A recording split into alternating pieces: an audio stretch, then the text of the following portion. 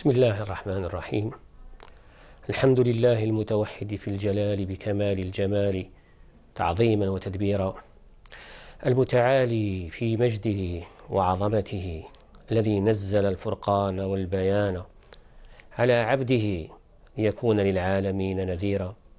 والصلاة والسلام الأتمان الأكملان على سيدنا وحبيبنا رسول الله صلى الله عليه وآله وسلم. أيها السادة المشاهدون مرحبا بكم.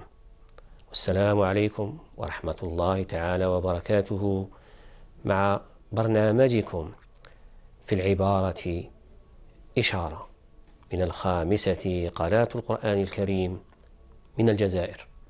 نحاول من خلال هذا البرنامج أن نتوقف فيه عند آية كريمة أو حديث نبوي شريف أو مقولة راقية رائقة لأحد أعلام وعلماء وصلحاء وأولياء الجزائر نتوقف عندها نتلمس منها الإشارات والمقاصد والغايات من خلال استقراء تجربتهم المعرفية واستنطاق أذواقهم من خلال هذه التجربة ومعاناتهم معها وفيها. مستحضرين مقولة لأحد سادة القوم سيدي ابن عطاء الله السكندري عليه رحمة الله الذي يقول من أذن له في التعبير فهمت في مسامع الخلق عبارته وجليت إليهم إشارته. عبارتنا لنهار اليوم لأحد أعلام الجزائر السالكين المربين الذين يمثلون نقطة انعطاف في تاريخنا الحديث والمعاصر لما تركه من أثر وهو شخصية أبي العباس سيدي أبي العباس أحمد التجاني عليه رحمة الله. هذه العبارة مفادها ومؤداها أن احترام الجناب النبوي والمقام النبوي يتجاذبه طرفان طرف الحصر وطرف التعدية طرف متعلق بالأصول وآخر متعلق بالفروع. ولعل السيد في هذا المقام وهو يشير إلى موطن استدلاله واستنباطه لهذا المذهب في التعامل مع الحضرة النبوية الشريفة من قوله تعالى في محكم تنزيله إن الذين يؤذون الله ورسوله لعنهم الله في الدنيا والآخرة. يشير سيدي أحمد تجاني عليه رحمة الله إلى أن إذاية النبي صلى الله عليه وآله وسلم من إذاية الله تبارك وتعالى. فإذايتهما متصلان. إذاية أحدهما إذاية الآخر وإذاية سيد الخلق أو أكبر إذاية لسيد, لسيد الوجود لخالق الوجود للواحد الأحد. الله تبارك وتعالى أعظم إذاية له هو الإشراك به. في صفاته وأسمائه وأفعاله وذاته وكل ما يتعلق به تبارك وتعالى. هذه أكبر إذاية تلحق به تبارك وتعالى وهي سهم من السهام المبطلة لعقيدة التوحيد. والإذاية نبيه وإذاية نبيه صلى الله عليه وآله وسلم من إذاية الله تبارك وتعالى فهو متحدث بالله وبسم الله وعلى مراد الله فكل إذاية له فهي إذاية لله تبارك وتعالى والإذاية أنواع وأقسام على وفق ما ذهب إليه صاحب عبارة اليوم. لعل لعلنا يمكن أن نقتصر على بعضها. نقتصر على إذايتين أو على نوعين. أما الأولى فهي إذاية العصيان وهي متعلقة وشاملة للعصاة من المسلمين الذين يتراخون أو يتساهلون أو يتباطؤون يتأولون الأوامر والنواهي أو التكليف الشرعي. أو ما أمر الله به تبارك وتعالى أو نبيه صلى الله عليه وآله وسلم وحقه الامتثال وما نهى عنه الله تبارك وتعالى ونبيه صلى الله عليه وآله وسلم وحق للمكلفين أيضا الامتثال له.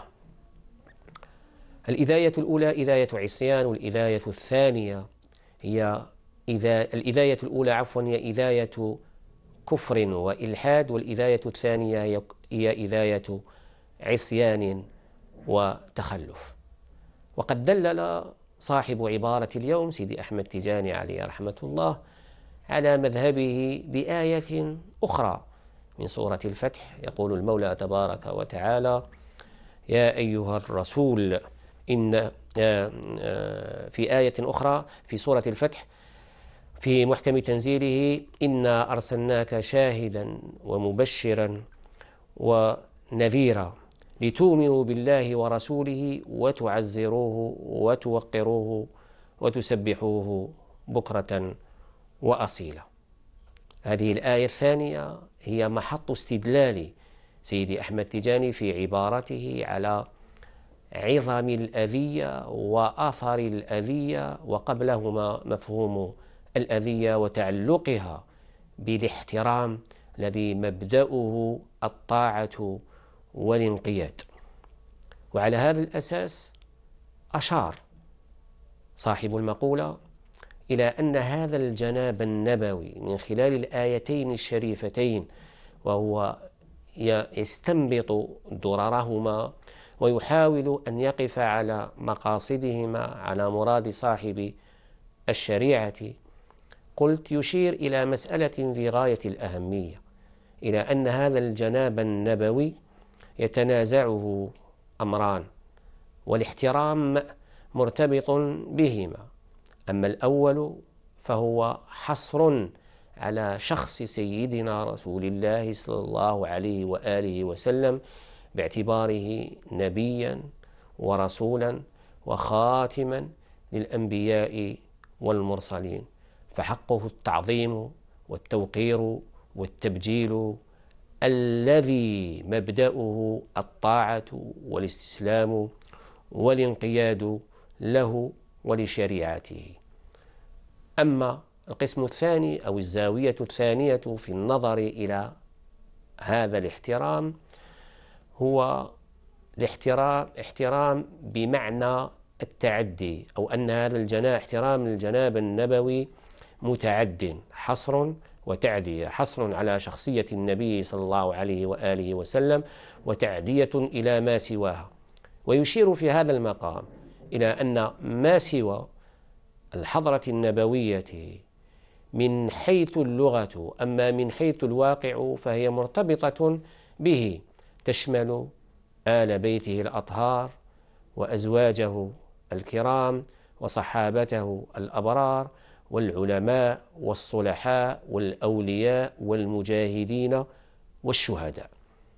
على هذا الأساس يقودنا الإمام التجاني عليه رحمة الله إلى أن الجناب النبوي ينظر إليه من زاويتين زاوية الحصر وزاوية التعدية.